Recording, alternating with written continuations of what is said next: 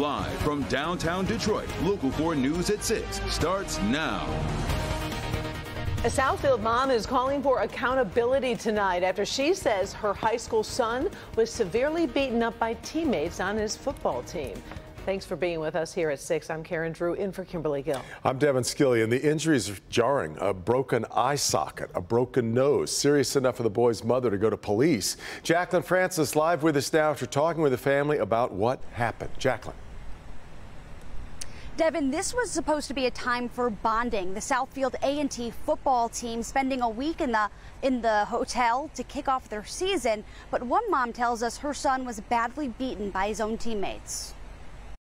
This high school football player's season ended before it started. The 16-year-old Southfield A&T student was attending preseason camp where the players spent the week at a local hotel. The player's mom said she got a call at 2:30 in the morning from her son saying he'd been beaten up. He's following behind with a towel uh, compressed against his, his face. And um, at that point, I asked him to let me see. And when he showed me, I knew immediately he needed to go to, to the emergency. He had multiple face fractures to his eye socket and nose. Yesterday, a month after the incident, he underwent eye surgery as part of the recovery. Never in a million years would I have let him leave my care had I known that, you know, something like this was going to happen. She says the school district has been largely unresponsive.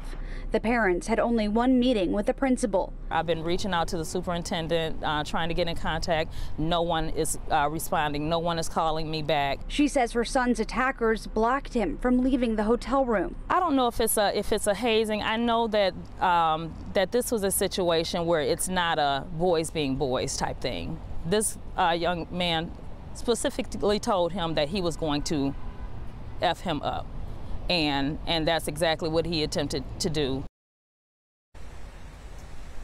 The family tells us they filed a police report with Southfield Police. We're still working to get our hands on that report.